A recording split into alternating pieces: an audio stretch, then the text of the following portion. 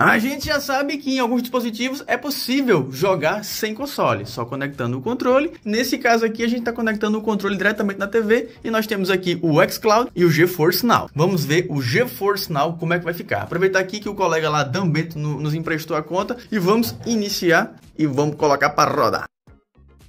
Então tá aqui a biblioteca de jogos, nós podemos explorar aqui algumas coisas e vamos executar esse jogo aqui, lembrando que também tem jogos grátis dentro do GeForce Now. E aqueles jogos lá são jogos comprados. Executar o Watch Dogs 2. Então iniciou o jogo, a gente tá jogando aqui o Watch Dogs 2 diretamente da TV no GeForce Now. E a gente consegue perceber que em termos de delay tá praticamente zero, não tem não, delay não.